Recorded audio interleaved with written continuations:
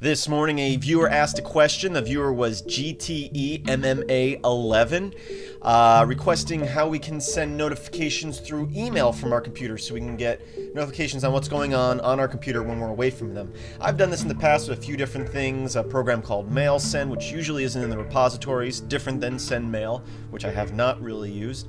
Uh, but today, uh, I decided to look up different ways of doing it, and so I could learn something new. And there's an application called SS. MTP. So we're going to install that.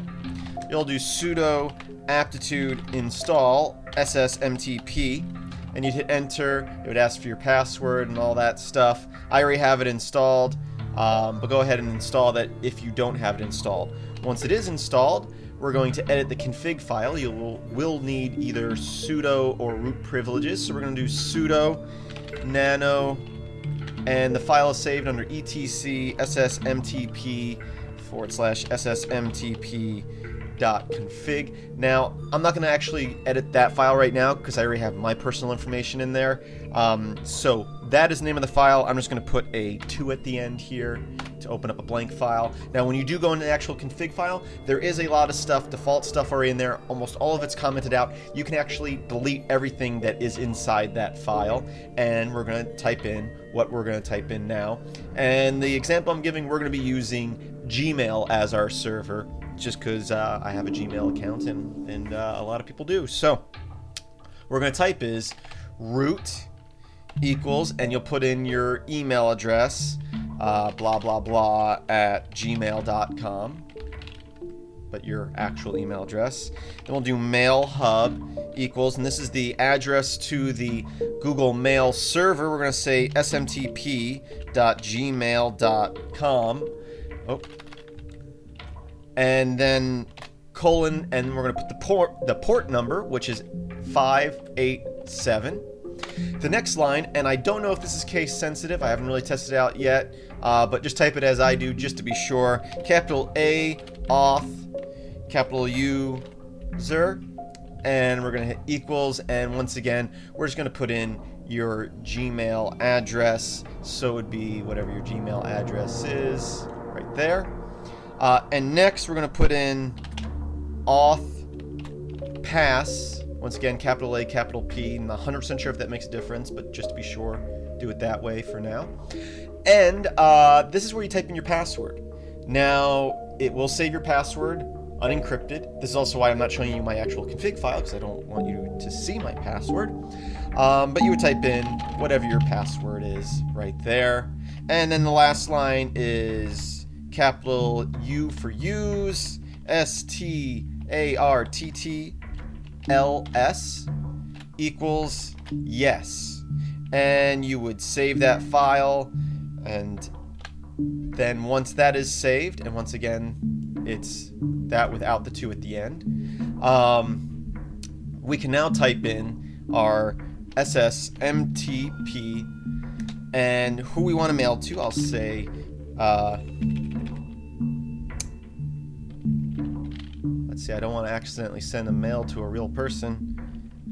We'll send to MetalX1000 at yahoo.com. That's my junk mail account. I hope you guys don't start spamming me. Okay.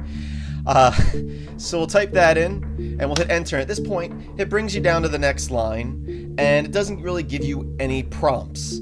Uh, but what you actually want to be typing here is basically information such as first line should be to colon, and this is who you're sending to. Now, the funny thing is, you don't have to actually put in their email address again. You can type something like Bob.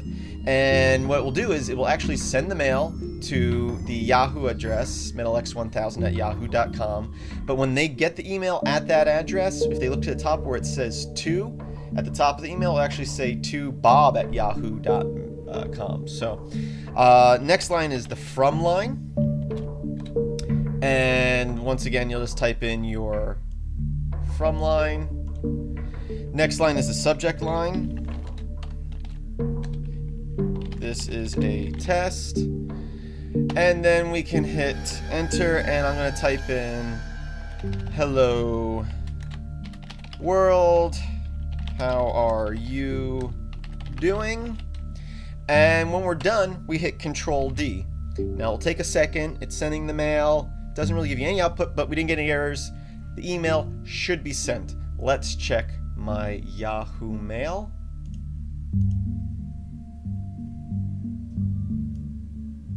Right there, we got a mail here. And we got, you can see right here, as I said, it says to Bob. Uh, and then it says, hello world, uh, how are you doing? That is the email sent. Now, if we wanted to, we can uh, put that into a file and it will send the email. So we don't have to type that out each time. Basically, I would create a file. I'll just call it nanomail.txt, but you can call it whatever you'd like. I'll just paste that information in there once again. Control X to save that. And what I can do is, that same command right there, I'm going to do a uh, less than sign, and then the name of the file containing that information. If I hit enter now, no errors, hopefully, here in a second. And if I was to check my email again, I'd have that message in there.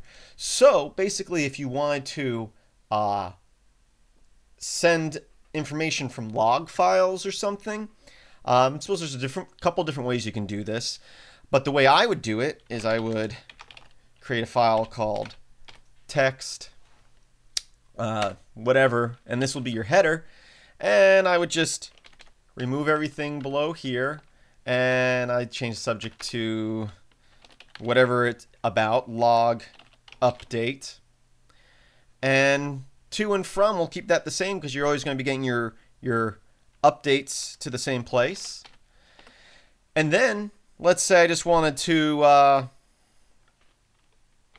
we'll say date, we'll say that the date is uh, log. So that's, that's the date. What I would do is, and once again, there's different ways you can do this. I would cat mail dot text into a temp file. I'll call it mail dot temp. And then I would say date greater than greater than. And I'm going to put that into mail dot temp. And what that does, if we cat that out, mail dot temp, is it basically created that file and our message is whatever the output was.